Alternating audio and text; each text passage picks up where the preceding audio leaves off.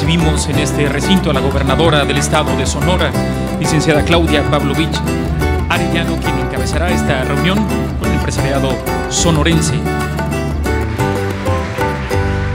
Ustedes son empresarios y como siempre les he dicho, eh, a mí lo que me corresponde es facilitar el hecho de que ustedes trabajen.